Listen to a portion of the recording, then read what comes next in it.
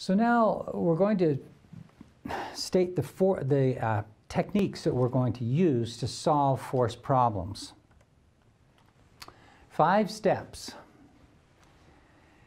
Uh, state the steps for solving force problems for each body.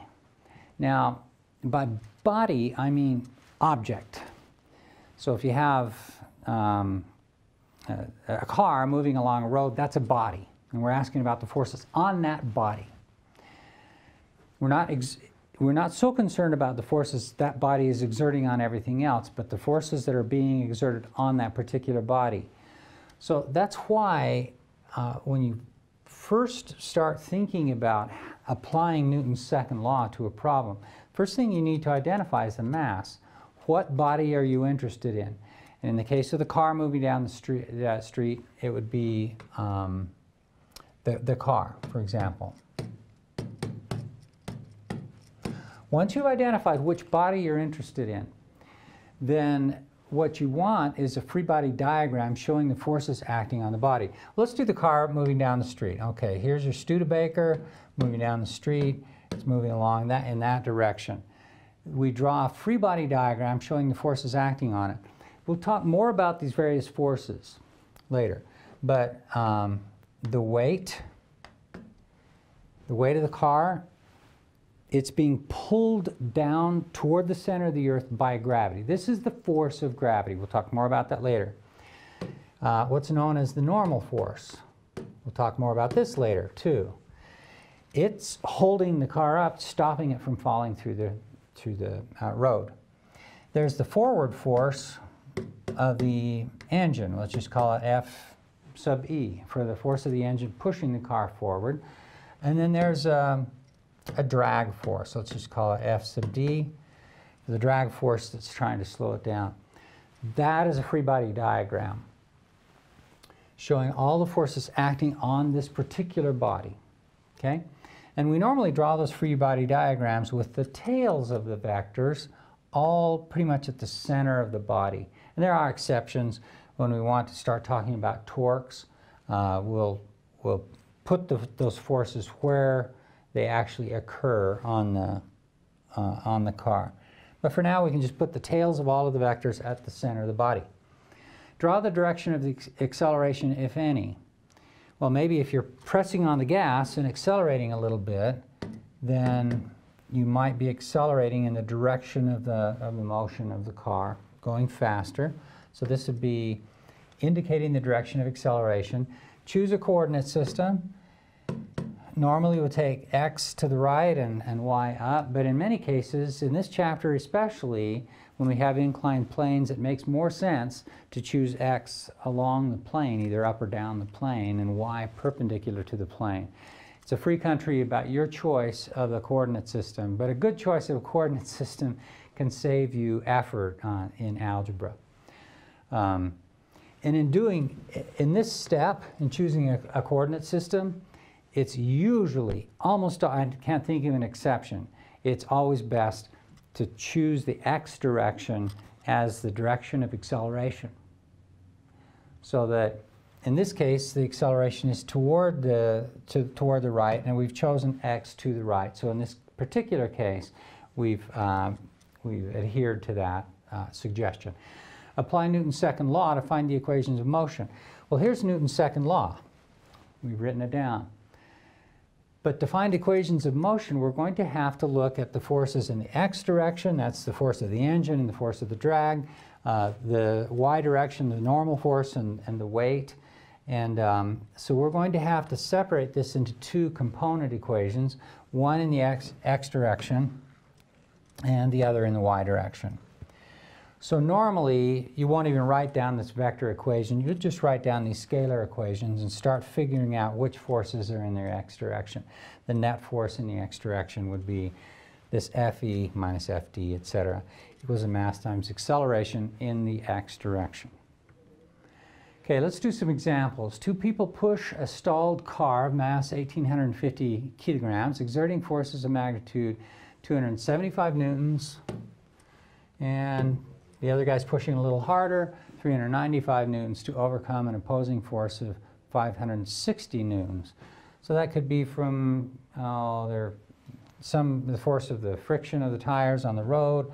Um, so that's the opposing force of 560. Find the acceleration of the car. Well, fine, we can do that. Let's do a free body diagram. In fact, just to remember, just to, to um, a little mnemonic, it always helps. My wife is always big on mnemonics. Um, F A C E S, faces. So to solve um, force problems, all you need to do is to make faces. Okay, force, forces, free body diagram, that's this. We've written the forces down here. A, the direction of the acceleration. Um, well, we don't know for sure whether this opposing force is going to be greater or less than the force of these two guys pushing on it. In fact, we, we can work it out. We did this right here. So it looks like um, 275 plus 395, both to the right, minus 560 to the left, gives 100 newtons to the right. So the net force, this is the net force, 110 newtons, it's to the right, and the acceleration will also be to the right. And I put acceleration separately on this force diagram. I don't put it in here with the other forces so I, so I don't get confused about trying to think about this as a force. Acceleration is not a force. Uh, a push or a pull is a force. Acceleration is what happens as a result of the force, the motion. Uh, the change in the velocity is a result of the force. So we can write down uh, Newton's second law. There's really no worry, we don't have to worry at this point about forces in the y direction. We've chosen an x direction in the direction of acceleration. And uh, we can, we've worked out the net force in the x direction. All we have to do is set that equal to the mass times the acceleration. So clearly, if we just divide both sides by 1,850 kilograms, then we'll have the acceleration. And there it is. You check the, new, the, the units. The newton is a kilogram meter per second squared. The kilograms will cancel, the kilogram and the newtons will cancel this kilogram and leave the units of meters per second squared for the acceleration. All right, another example. This is a vector example and an important one. Uh, the paddle, uh, a man's exerting um, a 17 Newton force that is due east on a raft. So this is kind of a confusing diagram, but let's just look at this one. So if this is east, he's exerting a 17 Newton force toward the east. And uh, if this is north, so in this case, x is to the east and north is, uh, and y is to the north. The wind is exerting a 15 Newton force that's directed 67 degrees north of east. So how do you figure that out? A, an angle that's north of east, you start with east, and then you go 67 degrees north of east. Well, here's east, here's 67 degrees north of east. The combined mass of the man and the raft is 1,300 kilograms. Find the raft's acceleration. Well, can we do that? We sure can. Uh, FACES, forces, we've got them. Uh, the acceleration, well, we don't know exactly what direction the acceleration is going to be in, but the net force is going to be um, somewhere off in this direction, so we're going to guess that the acceleration will be somewhere in, intermediate between these two forces. Um, the coordinate system we've already chosen, we're good there.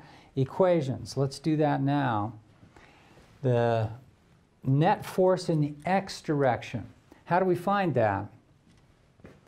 So if we're interested in, in the forces in the x direction, then we look for the components of each of these two forces in the x direction. This is what exactly what we did in chapter 1, and this is why we did this work in chapter 1, finding the components of forces. This force, this 17 Newton force, the, indicated by the blue arrow, points in the x direction. So its x component is equal to its magnitude of 17 newtons. So there's the x component of this 17 newton force. Well, what about the 15 newton force? It has components both in the x direction, this component right here, the x component of that force A, it's this horizontal component, and then it also has a y component. And I've expanded this triangle so that you can see it a little bit better. The, the vector magnitude is 15 newtons. Or A. We're calling that A. And if we want the x component of this force, AX, then AX over the hypotenuse of 15 newtons is going to, let me just write this out, AX over A, that side over the hypotenuse, is the cosine of 67 degrees. Just like we did in chapter 1. Adjacent over hypotenuse is the cosine. So if we want to solve this equation for AX, we just multiply both sides by A. So multiply this side by A, multiply this side by A. These A's cancel, and we get that AX is A times cosine of 67 degrees. And so A is 15 newtons.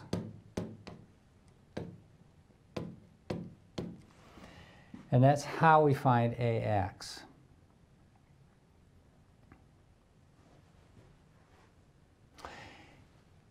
This 15 newtons times cosine of 67 is exactly what we have right here.